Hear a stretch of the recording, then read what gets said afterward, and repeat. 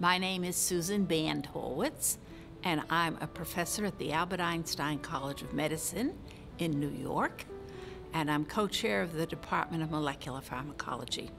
I have been supported by the National Foundation for Cancer Research for 12 years. Well, I've always been interested in natural products, and my goal is to really find medicines that can be used for the treatment of cancer from natural products. Well, of course, originally all drugs were natural products. That's where they came from.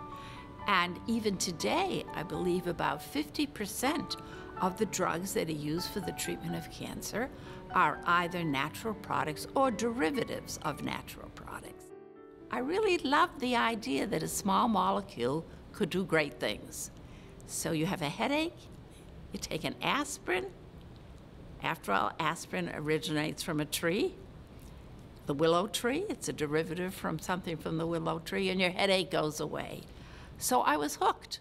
Since that time, I have worked with many different natural products, um, drugs from bacteria like bleomycin, uh, the camptothecins that came from a, a tree, Camptotheca acuminata in China. And then, of course, I was asked by the National Cancer Institute to try to figure out what Taxol was doing. And that's the work that my lab is best known for. But we've worked on many different natural products. Science has gotten very complex.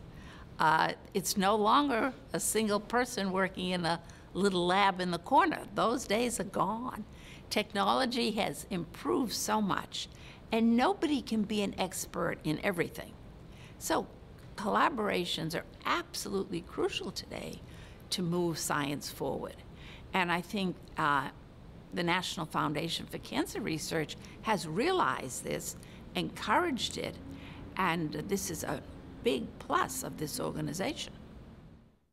The National Foundation for Cancer Research has helped me in many, many different ways.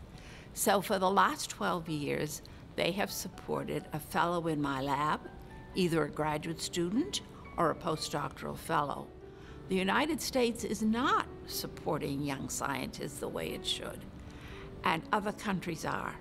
And we are really going to feel it, I think. We already are, and we're certainly going to feel it more in the future. To people who are thinking about making a donation, I would say do it.